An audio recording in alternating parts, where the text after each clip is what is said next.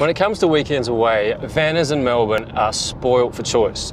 You can go coastal, there's the mountains, you can go rural, there's loads of wineries. In fact, you could probably spend a whole year just exploring your own backyard. But if you're thinking about getting away for the weekend, just something really close, best bet, Castlemaine. Castlemaine is one of those places that you visit over a weekend for a quick escape and then spend half an hour looking online at how much it would cost to buy a home there. It combines the homely feel of a country town with convenience you get in the city. There's pretty much something for everyone here.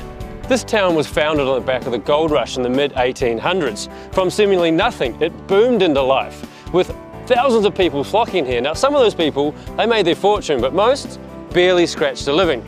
However, it put this part of the world right on the map. People still come here today to go panning or spend their time roaming the countryside with metal detectors.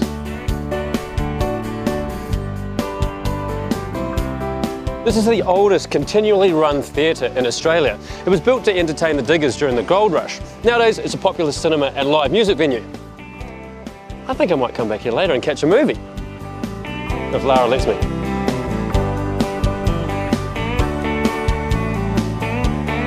Make sure that when you visit any country towns across Victoria that you support small local businesses.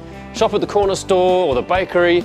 You don't have to go to the big stores go and buy some local produce and cook it when you get back to the van park. Fish and chips, corner store. That's where you should be going.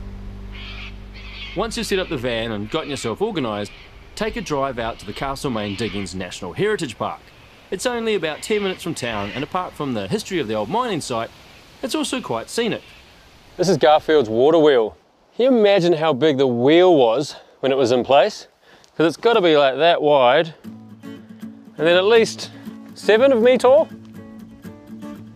That's a proper measurement, isn't it?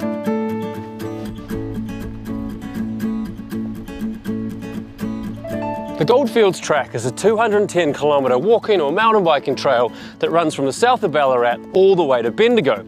It covers some of the most gold-rich land from the rush period, and it's also really pretty. If you've got the energy, it's well worth a stroll along one of its trails. And I know which trail I'll be doing.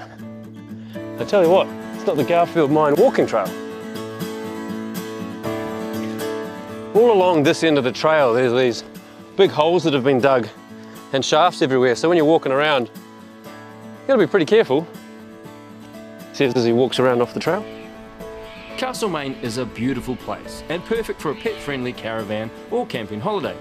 If you're planning a trip anywhere in Victoria, then visit gomakesomememories.com.au for loads of tips and touring ideas. In 2020, you can get your fix by checking out the virtual show that the Caravanning Industry Victoria is running. It's going to be awesome.